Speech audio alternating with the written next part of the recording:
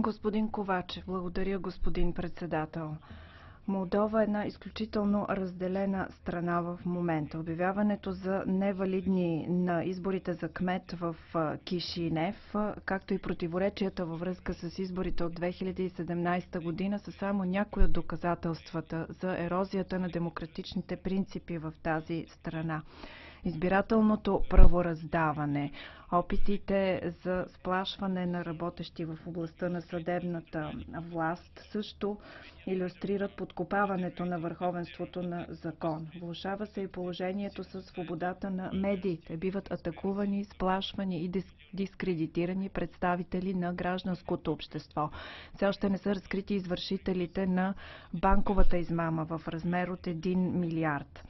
Молдова заявява, че проявява готовност да разреши проблемите на страната. Но ако искаме да продължи Европейския съюз диалога си с страната и най-вече да се подобрят условията на живот на молдовските граждани, Молдова трябва най-накрая да действа. Приветствам в Грузия доброто провеждане на президентските избори. Разбира се, осъждаме окупацията на Абхазия и Южна Осетия.